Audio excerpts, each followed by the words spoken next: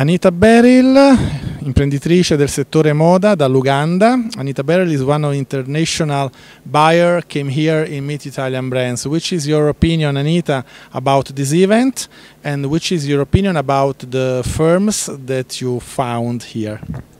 Buongiorno.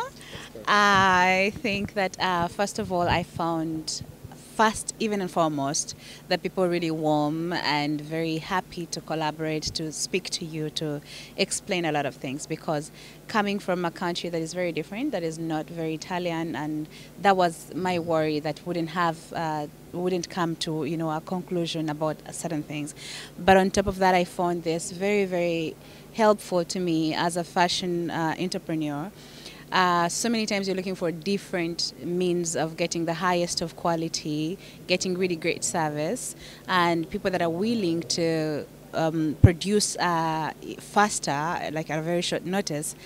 And I realized also that so many of the brands and the factories that were entertained, uh, entertained by were very open to collaborations, um, and which is a very helpful thing because then that means that I am able to carry a lot of like uh, Italy to or Italian produced products to Uganda, be it raw materials, be it uh, let's say textiles, uh, which is some of the things that we're very interested in, uh, or to even like the real accessories, like they were very warm to that. And allowed to even produce for private, uh, like different private brands, which is a very, very good thing that you do not usually find unless you're dealing with like a China or something.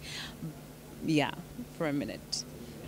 È stata una bellissima esperienza essere qui. Ehm, vedendo tante contaminazioni delle, del meglio della moda italiana e del meglio della moda africana, è stato bello riportare poi nel nostro paese questa differenza, questa eterogeneità e questa bellezza di tante differenze. Um, avevo, diciamo, non, non, sapevo se sarebbe um, diciamo, stato facile poter sviluppare buone relazioni con gli imprenditori qui del settore, lo è stato e quindi sarà bello riportare poi appunto in Uganda tante caratteristiche della produzione italiana nei diversi colori, nelle diverse tendenze, nel diverso diciamo, modo ugualmente bello di approcciare la moda